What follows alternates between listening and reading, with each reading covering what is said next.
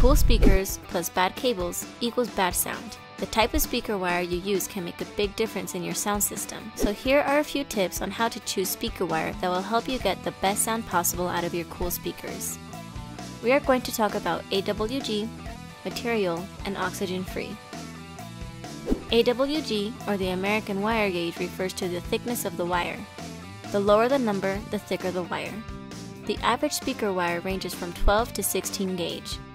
The gauge you need depends on the length of the cable and on your speaker's impedance. Impedance is measured in ohms. Most popular speakers have impedance ratings of 4, 8, or 16 ohms, so basically you need wire that can handle your speaker's impedance. Otherwise, you may get distorted sound and even damage your equipment. For example, for 8 ohm speakers, 16 gauge cables are only recommended to go up to 48 feet.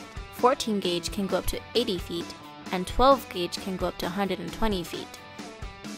The next thing you need to know is what the wire is made of. The standard material for speaker wire is copper.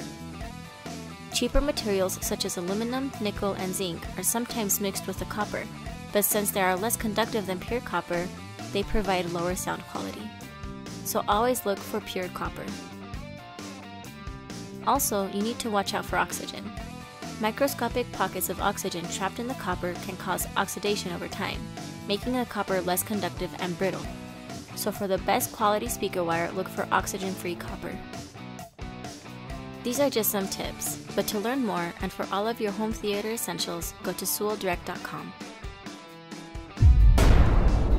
Sewelldirect.com, connect anything.